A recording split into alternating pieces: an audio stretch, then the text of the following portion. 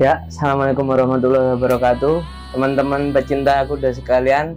Uh, pada kesempatan yang apa kali ini pagi ini ini masih subuh ya teman-teman. Ini sengaja kita record. Kita habis ini mau ke uh, Sultan Agung mau ngelihat latihan pagi uh, gimana keseruannya.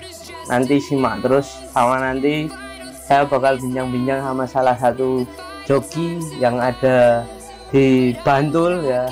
Nanti sama Mas Ian ya. Nah, nanti uh, pokoknya ikuti terus keseruannya. Nanti kita sambil melihat latihan habis itu nanti habis itu kita ngobrol-ngobrol seputar kuda sama salah satu joki yang ada di Jogja.